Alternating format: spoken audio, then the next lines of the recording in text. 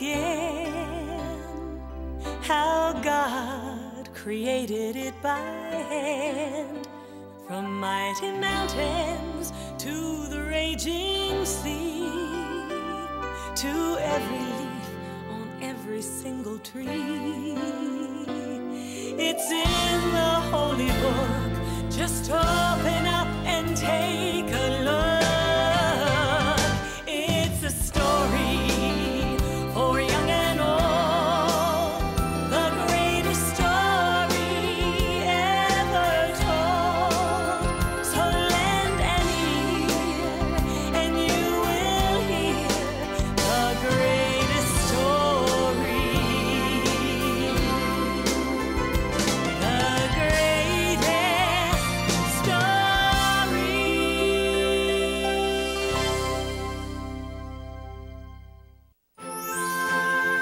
In der Stadt Bethanien wurde viel gefeiert. Aber noch nicht alle hatten die wundervollen, wundersamen Neuigkeiten gehört.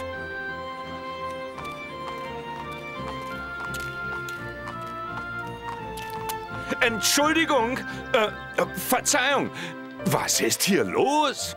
Hast du es nicht gehört? Ein guter Freund von uns ist gestorben.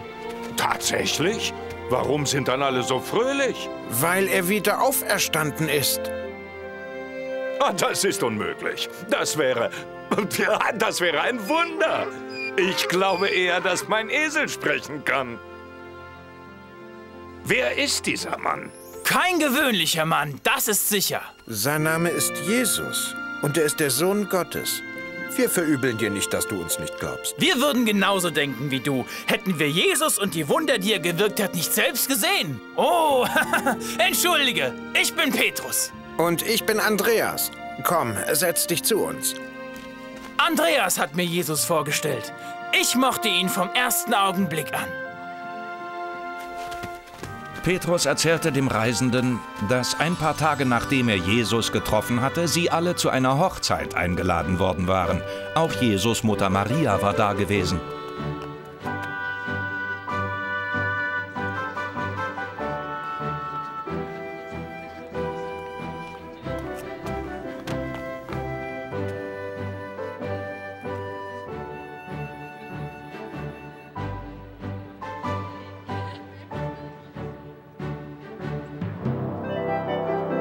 In der Mitte des Festes bemerkte der Bräutigam, dass der Wein beinahe aufgebraucht war. Ohne Wein hätten sie nichts mehr zu trinken gehabt. Und die Feier hätte ein frühes Ende gefunden. Sie haben keinen Wein. Kannst du ihnen irgendwie helfen? Aber dies ist nicht die Zeit, dass die Leute erfahren, wer ich bin.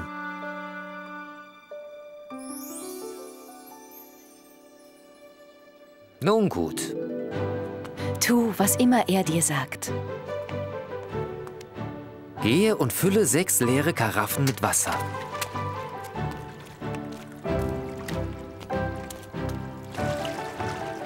Dann schenke allen Hochzeitsgästen dieses Wasser aus. Das ist unglaublich. Dies ist der beste Wein, den ich je getrunken habe. Hä?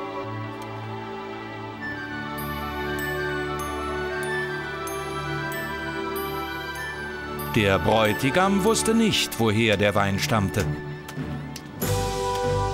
Aber Andreas und Petrus wussten es. Das war Jesus erstes Wunder.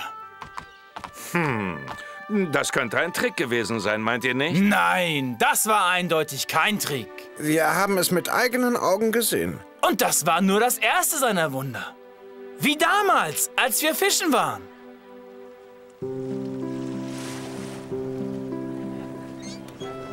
Petrus erzählte davon, wie Jesus eine große Gruppe Menschen vom Königreich Gottes lehrte. Hallo zusammen. Bitte, drängelt nicht.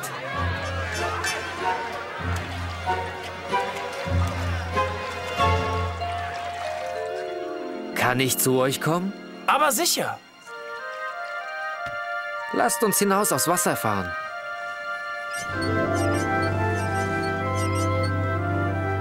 Jesus stand am Ufer und sprach eine Weile zu der Menge. Dann sagte er, Petrus, Segle hinaus in tieferes Wasser zum Fischen. Aber Jesus, wir haben die ganze Nacht gefischt und nichts gefangen. Das mag sein. Aber nun werft eure Netze aus und lasst uns sehen, was ihr fangt. Ganz wie du meinst, Jesus.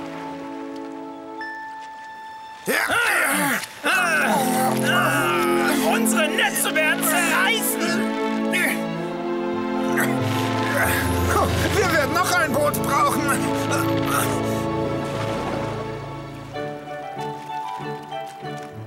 Das ist fantastisch. Wir haben so viele Fische. Wir werden sinken. Petrus, Andreas, hört nun auf zu fischen. Was? Kommt mit mir. Ich werde euch lehren, wie man Menschen fischt. So legten Petrus und Andreas ihre Arbeit nieder. Sie fischten nicht mehr, um bei Jesus sein und von ihm lernen zu können. Danach trafen sie Jakobus und Johannes, die auch mit Jesus kamen. Sie wurden Jesus engste Freunde und folgten ihm, wo immer er hinging, um die Menschen zu unterrichten. Wir waren die ersten seiner Anhänger, seine Jünger. Das sind Jakobus und Johannes. Also war das Boot voller Fische ein weiteres Wunder. Ja. Ich weiß nicht. Vielleicht hatte Jesus ein Talent zum Fischen. Wisst ihr, ich bin selbst ein ganz guter Fischer. Oh, das war erst der Anfang. Es gab noch so viele weitere Wunder. Oh, das sind Philippus und Thomas. Es war zu der Zeit, als Jesus im Hause eines Freundes unterrichtete. Jakobus erzählte von dem Haus, das vor Menschen strotzte, die gekommen waren, um Jesus zu hören. Wir kommen nicht nah genug heran, um unserem kranken Freund zu helfen. Vielleicht gibt es noch einen Weg hineinzukommen.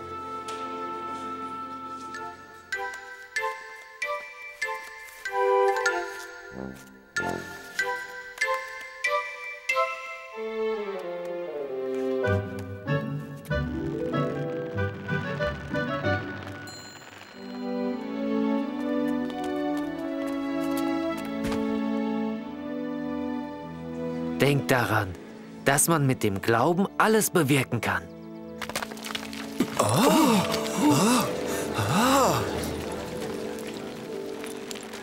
Was tun Sie da? Weg, weg mit euch, habt ihr verstanden? Nein, wartet. Seht ihr nicht, wie sehr sie sich bemüht haben, ihren kranken Freund ins Haus zu schaffen?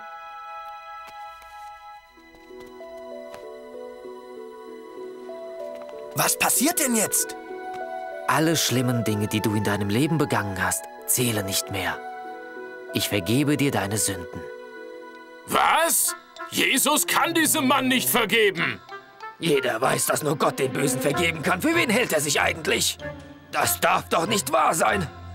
Wenn ich sage, ich vergebe dir deine Sünden, gibt es keinen Weg zu beweisen, dass ich wirklich etwas getan habe. Wahr. Wahr. Aber ihr werdet meine Macht sehen, wenn ich den Körper dieses Mannes ebenfalls heile. Nun steh auf und geh nach Hause.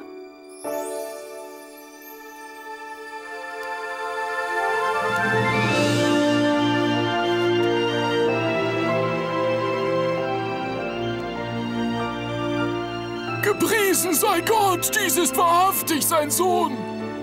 Hurra, Ja, ein! Wunder. Gepriesen sei Gott. Wenn Jesus einen Kranken heilen kann, dann ist es auch wahr, dass er Sünden vergeben kann.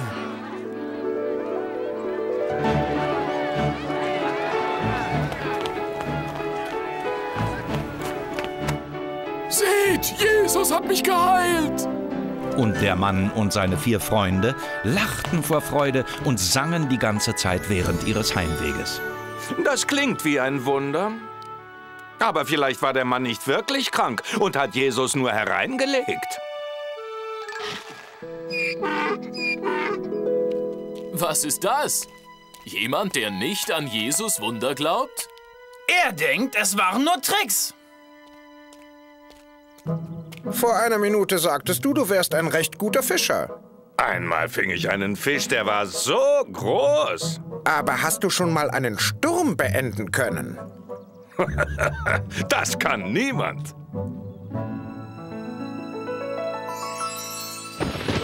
Es war zu der Zeit, als wir alle über einen See fuhren. Ich bin müde und will eine kleine Weile ruhen.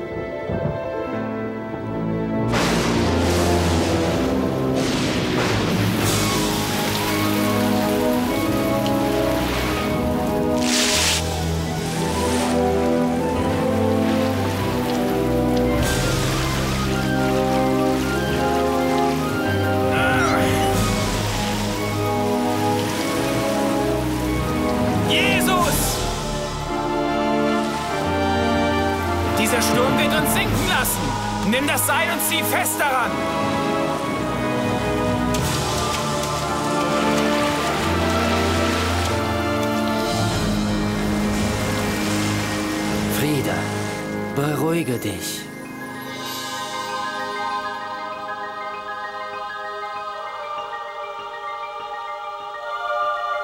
Habt ihr das gesehen? Habt ihr das gesehen?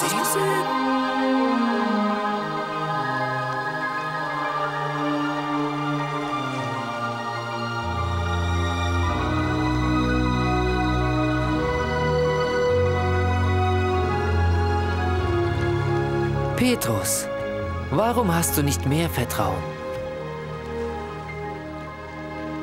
Du hast keinen Grund, dich zu fürchten, wenn ich bei dir bin. Es ist ein Wunder. Sogar Wind und Wasser gehorchen ihm. Ich. Ich weiß nicht, was ich sagen soll. Ich traue meinen Ohren kaum. Könnte ich solche Wunder nur mit eigenen Augen sehen?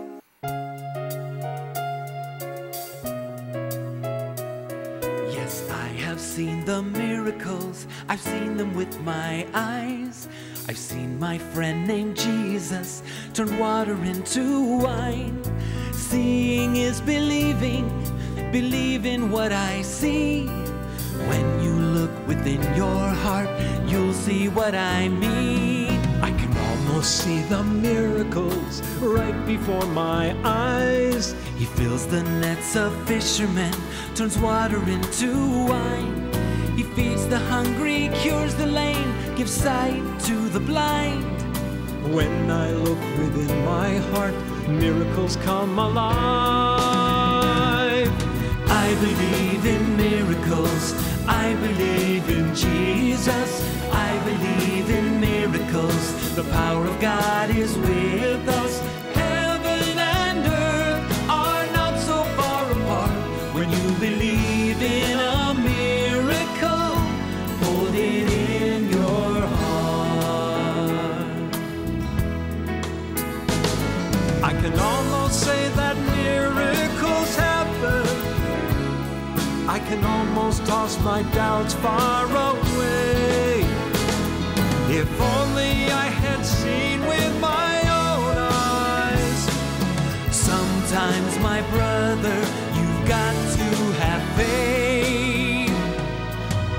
A man in Israel.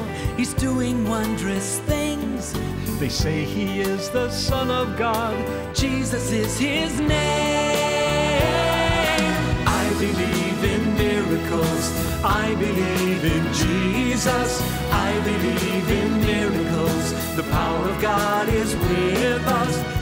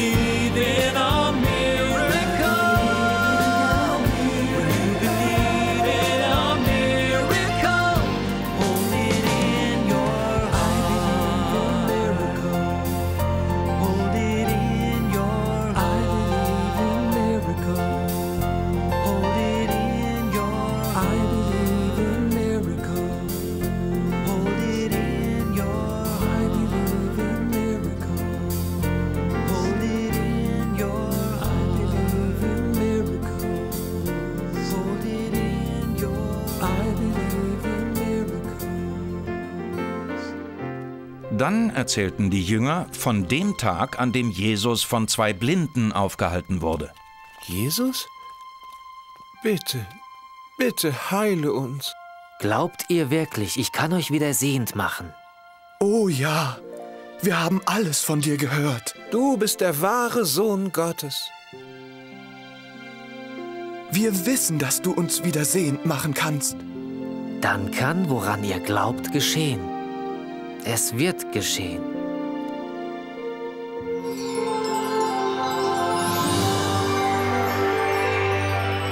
Haltet fest an eurem Glauben. Zuerst sahen wir nur Dunkelheit, aber jetzt können wir das Licht der Welt sehen.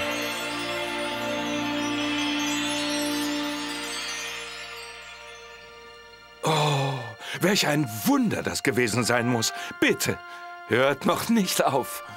Die Jünger berichteten davon, dass je mehr die Menschen über Jesus erfuhren, sie umso mehr nach seinen Lehren hungerten. Wie an dem Tag in Galiläa, als er zu einer Menge von 5000 Menschen sprach. Es war ein wunderschöner Tag. Beinahe wie ein großes Überraschungspicknick. Können jetzt nicht alle gehen, um sich etwas zu essen zu holen? Aber Petrus, ich will Ihnen noch so viele Dinge sagen. Philippus, wo können wir genügend Essen für all diese Menschen kaufen? Es würde den Lohn von acht Monaten harter Arbeit kosten, das Essen einer solchen Menge zu bezahlen. Jesus, ich habe einen Jungen gefunden, der fünf Laibe Brot und zwei Fische hat. Der Junge gab Jesus freudig sein Essen.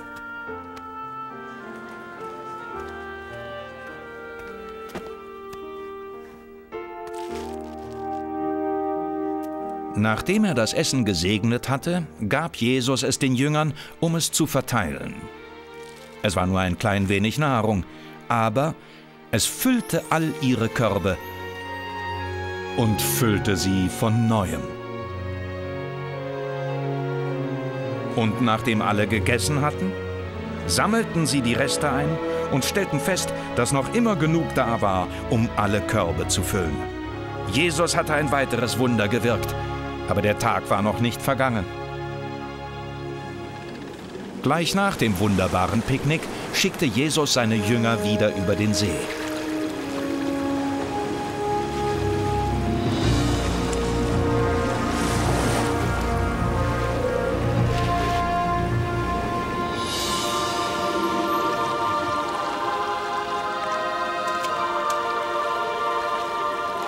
Seht nur, da! Was ist das? Was ist das? Ein Geist! Ein Wunder. Habt keine Angst. Ich komme euch zu helfen. Jesus, kann ich zu dir hinaus aufs Wasser kommen? Komm nur, Petrus.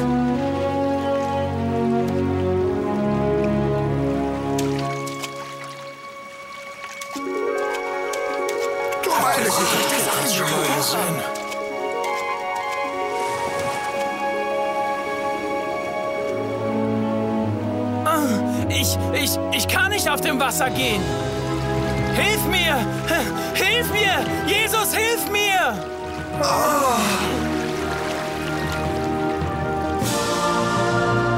Warum hast du an mir gezweifelt, Petrus?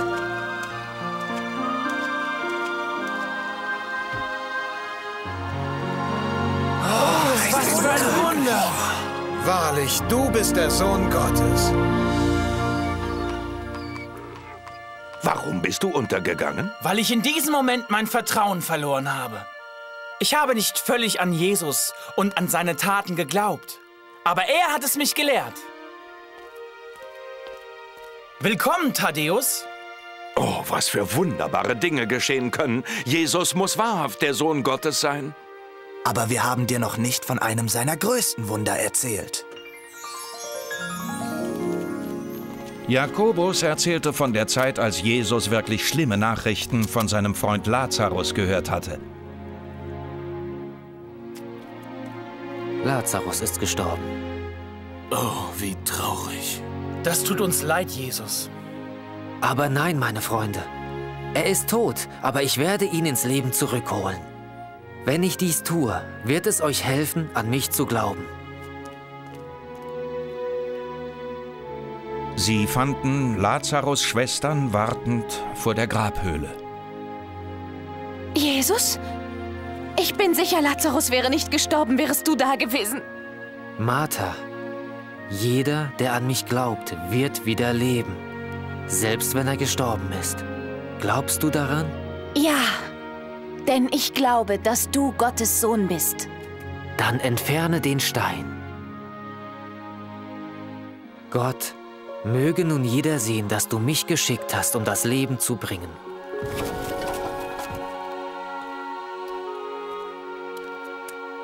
Lazarus, komm heraus.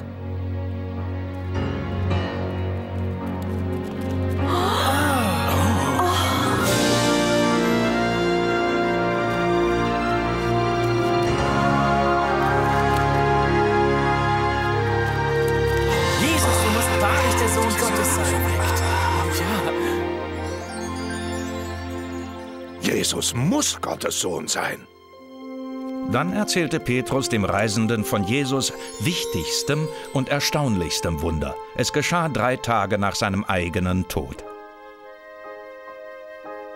Es geschah an einem Sonntag, als Johannes und Petrus zum Grabe Jesu gingen. Aber er war fort. Jesus war auferstanden.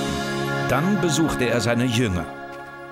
Zuerst sahen sie ihn unten beim Wasser. Was sollen wir nun tun? Wir sollten wieder Fischer werden. Was sollen wir sonst tun? Das Meer ist völlig leer.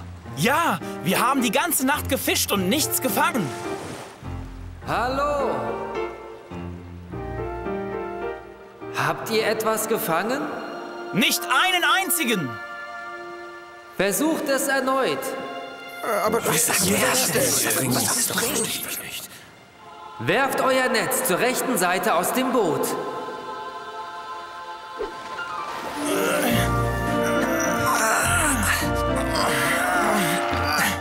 Hey, seht!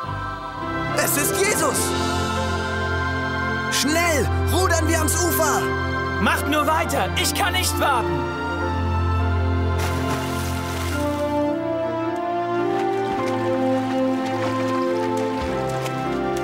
Guten Morgen, Petrus. Rufe die anderen. Wir essen Fisch zum Frühstück. Insgesamt war Jesus nun 40 Tage bei uns. Und sprach zu uns von Gottes Königreich. Oh, wie wundervoll. Ich wünschte nur, dass ich die Möglichkeit hätte. Petrus, da bist du ja. Hallo! Willkommen. Ich gebe euch meinen Segen. Und nun ist es Zeit für mich, in den Himmel zurückzukehren, damit ich bei meinem Vater sein kann. Nun geht hinaus in die Welt und berichtet allen, die ihr trefft, von mir. Vergesst nicht, ich werde durch den Heiligen Geist immer bei euch sein.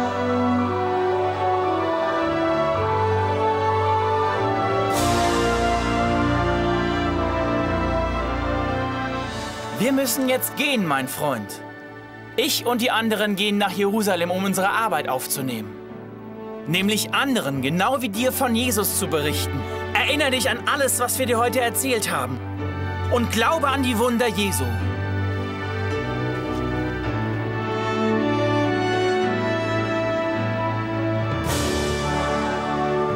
Ich glaube. Ich glaube. Ich glaube.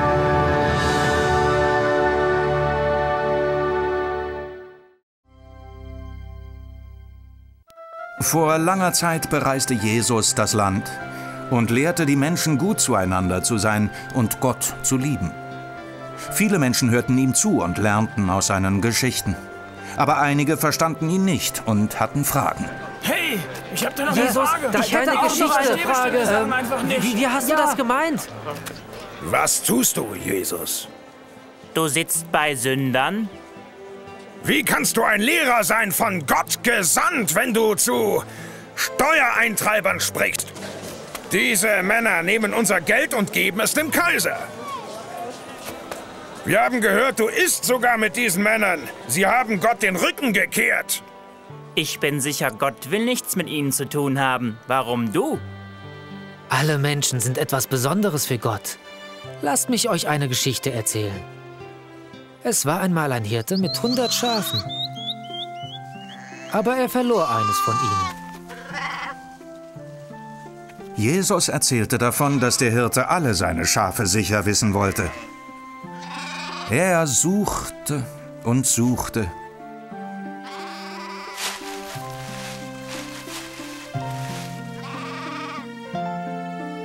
Bis er es fand.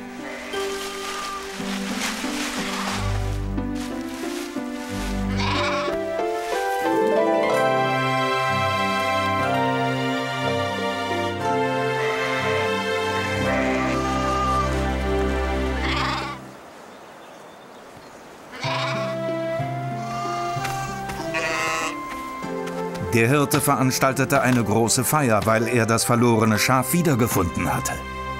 Aber Jesus, der Hirte, hat nur seine Arbeit gemacht. Es herrscht mehr Freude im Himmel über einen, der verloren ging und wiedergefunden wird, der sein Leben für Gott verändert, als über 99 Menschen, die sich nicht ändern müssen. Jesus erzählte ihnen von einer Frau, die zehn Silbermünzen hatte, aber eine davon verlor sie. Als die Frau merkte, dass sie die eine Münze verloren hatte, war sie sehr ärgerlich.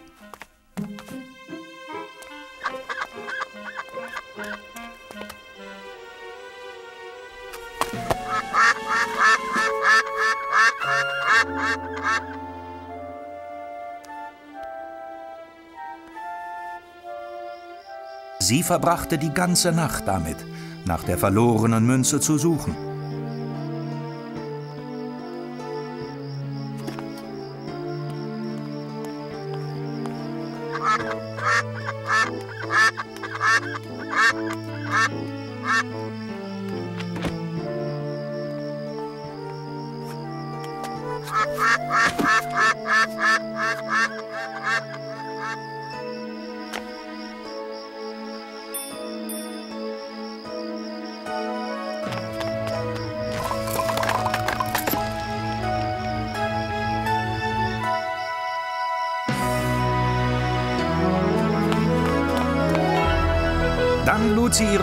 Zu einer Feier ein. Weil sie gefunden hatte, was ihr abhanden gekommen war. Und so fühlt Gott es mit den Menschen. Im Himmel singen die Engel, wann immer eine Person sagt, er oder sie glaubt an Gott und will ein besseres Leben führen. Aber Jesus, in deinen Geschichten haben der Hirte und die Frau sehr wertvolle Dinge verloren. Und alle Sünder, besonders Steuereintreiber, sind wertlose, schlechte Menschen. Hört eine weitere Geschichte.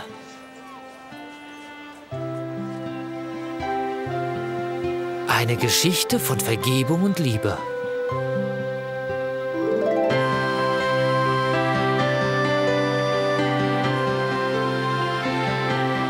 Es war einmal ein Mann, der sowohl ein wohlhabender Bauer als auch ein liebender Vater war.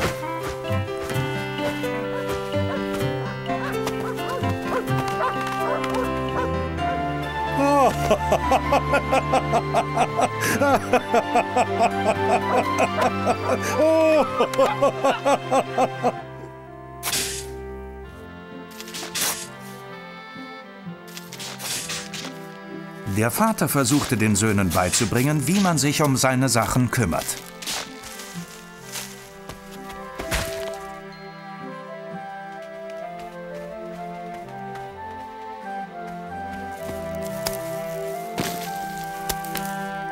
Ähm, danke schön, Ruben. Aber wo ist dein Bruder?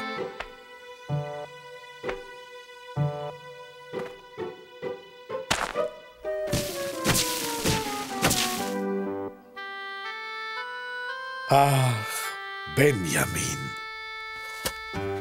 Obgleich seine Söhne sehr unterschiedlich waren, liebte er jeden von ihnen genauso sehr wie den anderen. Der Vater hoffte, sie würden zu hart arbeitenden Bauern heranwachsen. Aber als der jüngere Sohn älter wurde, träumte er von fernen Orten. Er wollte nicht auf seines Vaters Hof bleiben.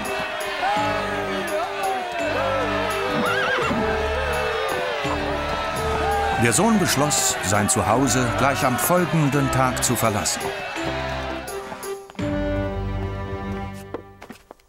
Vater, letzte Nacht hatte ich einen wunderbaren Traum. Tatsächlich? Was für eine Art? Ich ritt das beste Pferd der ganzen Stadt. Oh, es ist schön, eine Stadt zu besuchen, aber... äh, Alle sahen mich an, weil ich gut aussah, klug und reich war. Ja, das alles bist du. Vater, das Leben auf dem Hof ist gut für dich. Du bist ein Bauer, aber es ist nichts für mich. Es gibt so vieles, was ich tun will. Und Orte, die ich sehen will. Oh, oh, du willst uns wirklich verlassen? Ja. Du hast meinem Bruder und mir immer ein Erbe versprochen. Geld für uns. Aber das ist für deine Zukunft. Oh, bitte, Vater. Ich möchte mein Geld jetzt haben. Ich will noch heute in die Welt hinausgehen. Aber der Vater wollte nicht, dass sein Sohn ging. Es versetzte ihm einen harten Schlag.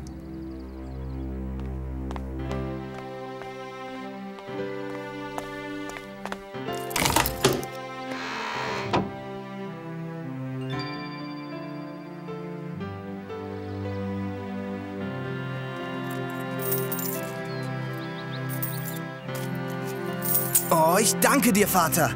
Ich bin reich. Hey, das ist nicht fair. Benjamin kann nicht das Geld nehmen und einfach so gehen. Wenn es das ist, was er will, soll er es tun. Sorge dich nicht um den Hof, Vater. Ruben wird hier sein. Aber ich sorge mich um dich. Ich werde dich vermissen, mein Sohn. Es wird mir gut gehen.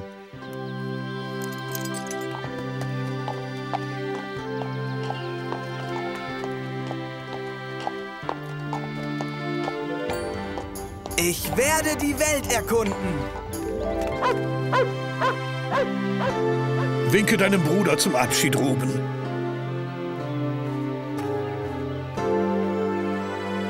Der Vater konnte nur hoffen, er würde seinen Sohn eines Tages wiedersehen.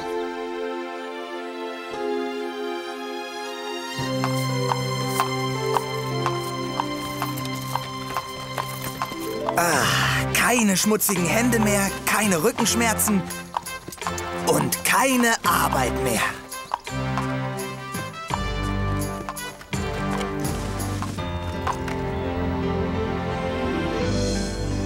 Ist das nicht herrlich?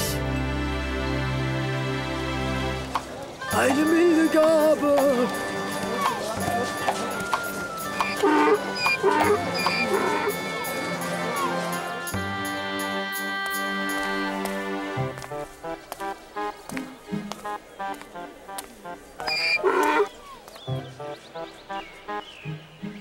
Der Sohn war das erste Mal draußen in der Welt und er wollte alles kaufen, was er sah.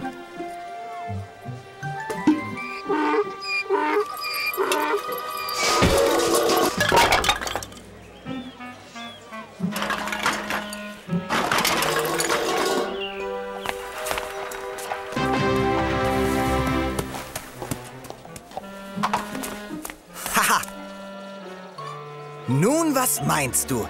Jetzt fehlt nur noch, dass man mich auf einem prächtigen Pferd reiten sieht.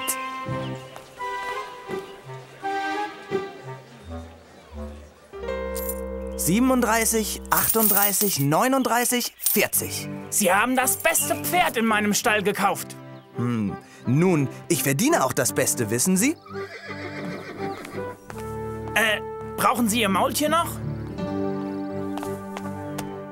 Äh, nein. Es erinnert mich an den Hof meines Vaters. Ach, Keins meiner Pferde ist 40 Münzen wert. Mensch, dieses Maultier ist das Doppelte wert. Diesen Narren interessiert es nicht, wie er sein Geld los wird. Da sehe ich noch etwas zum Kaufen. Der Preis interessiert mich nicht. Ah, ich will, dass man mich heute durch die Stadt reiten sieht. Uah, Pferdchen! Uah!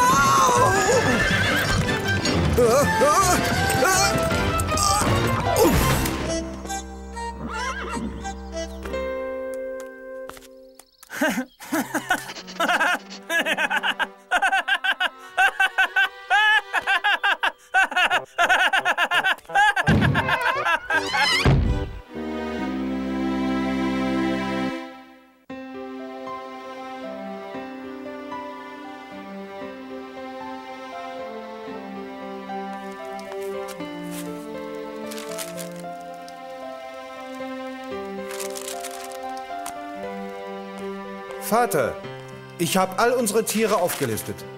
Oh, danke, Ruben, das war viel Arbeit. Ach, ich habe gerade an deinen Bruder gedacht. Sicher vermisst du ihn genauso wie ich.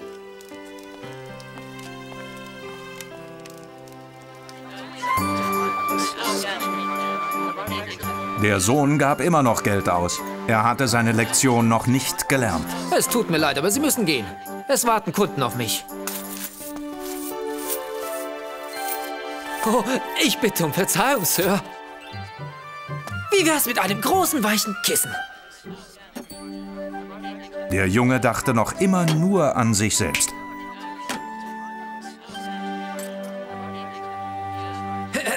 Meine Damen und Herren, zur Erheiterung während des Essens, Bera und sein lustiger Affe.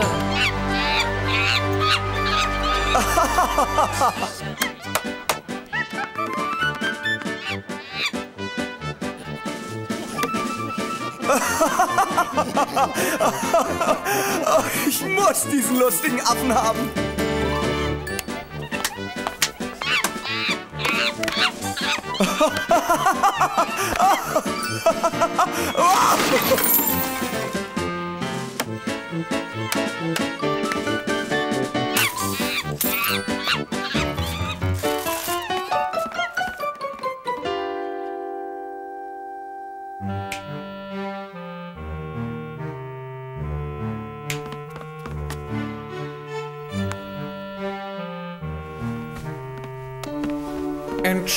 Entschuldigung, Sir, aber Sie sind seit einer Woche hier. Bezahlen Sie Ihre Rechnung?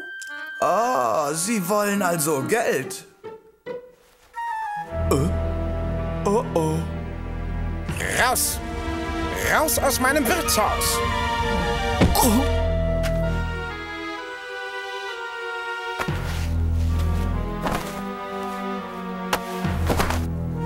Das behalte ich für die Rechnung! War Benjamin alleine und sehr hungrig. Was, was mache ich jetzt bloß? Zum ersten Mal in seinem Leben musste der Sohn um Essen betteln.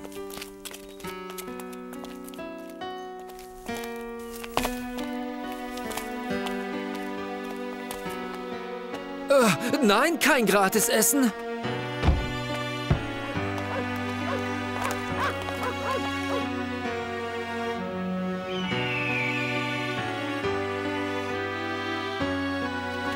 Der Junge war so hungrig, er musste Arbeit finden, egal welche.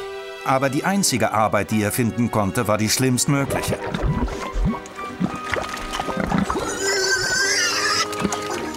Also sowas. Ihr fresst wirklich wie die, naja, Schweine.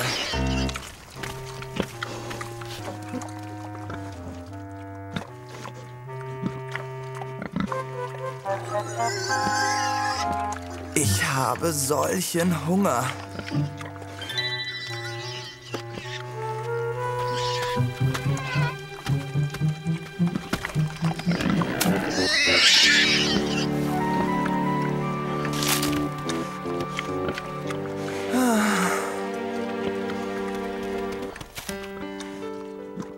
Danke, kleines Schwein.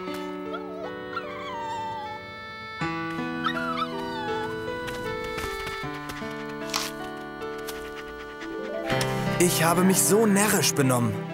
Ein Schweinestall ist schön, wenn man ein Schwein ist. Aber es ist nichts für mich. Auf dem Hof meines Vaters hat jeder, sogar die Aushilfen, einen Platz zum Schlafen und genug zu essen. Das ist es. Ich werde heimgehen. Vater wird mich nicht mehr zum Sohn haben wollen. Nicht so, wie ich ihn behandelt habe. Aber alles ist besser als das hier. Hey, vielleicht gibt er mir Arbeit auf dem Hof. So etwas wird mir garantiert niemals wieder passieren. So beschloss der Sohn nach Hause zu gehen und hoffte, sein Vater würde ihn nicht fortschicken.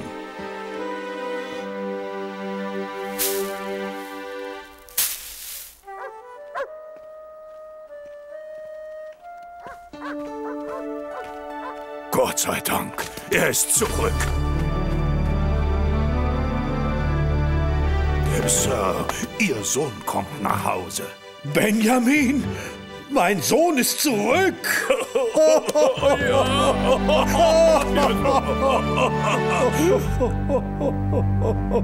Mein Bruder ist zurück.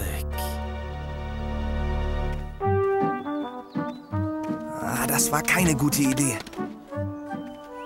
Mein Vater wird sicher nicht mal mit mir reden wollen. Oh oh, zu spät. Ob er sehr wütend auf mich ist? Vater, es tut mir alles so leid und ich will dich nur um Arbeit auf dem Feld bitten. Man sollte mich nicht einmal mehr deinen Sohn nennen. willkommen, oh willkommen daheim. Ich bin so froh, dass es dir gut geht. Was? Lasst uns alle feiern. Vater, äh, ich, ich verstehe dich nicht. Sorgt für Essen, reichlich Essen und holt Musikanten her. Mein Sohn ist wieder heimgekehrt. Aber der ältere Bruder war eifersüchtig auf Benjamin.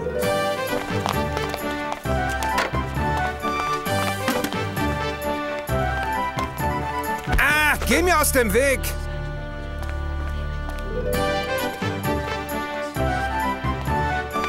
Sag mir, hängt das Schild richtig?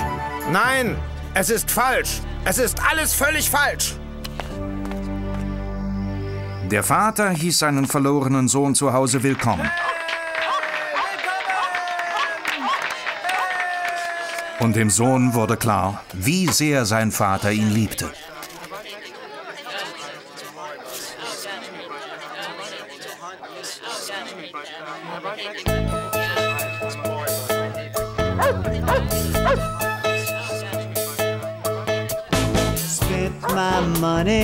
Lost my way. Left my house when I had it made. Just a slave to a broken heart till I found my father's open arms. Feels so good to be home again. No more roaming the world like the wind. I won't go back to where I've been. Feels so good to be home again. Feels so good to be home again. My boy is back, yes, it's true. Set the table, prepare the food. Watch me dance, bless this day. So good to know he's home to stay. My lost son is home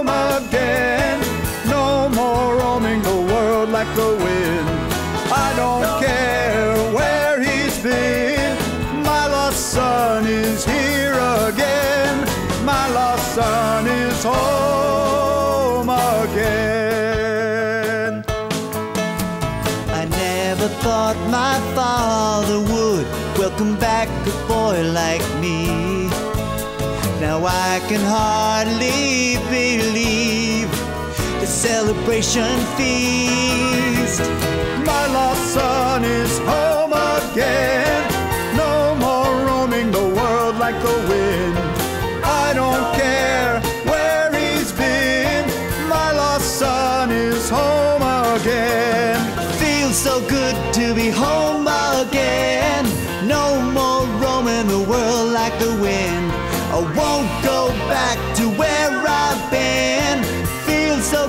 To be home again. My lost son is home again.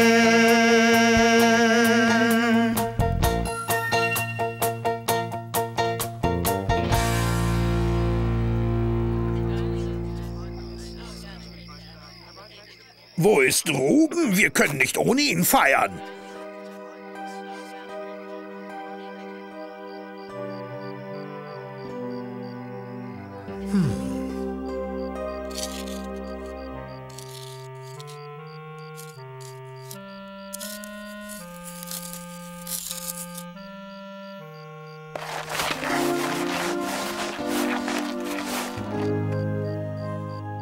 Versäumst Benjamins Feier. Ich hab keine Lust. Es ist nicht fair.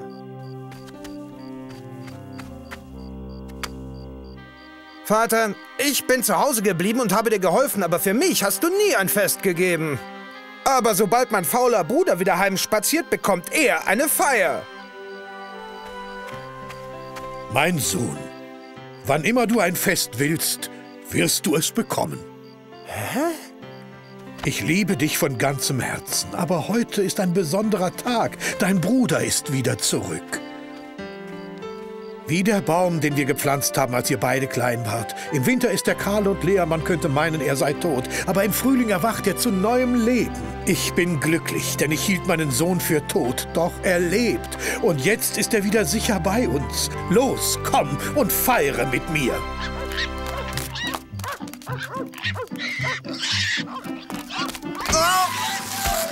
Oh!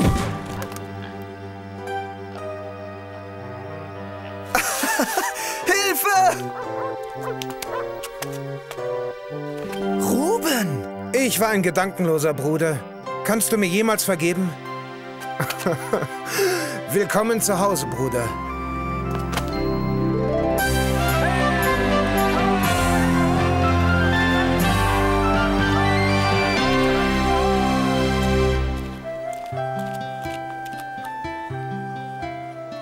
Der Vater ist wie Gott. Er ist voller Freude und Vergebung, wenn sich jemand entschließt, ihm zu folgen.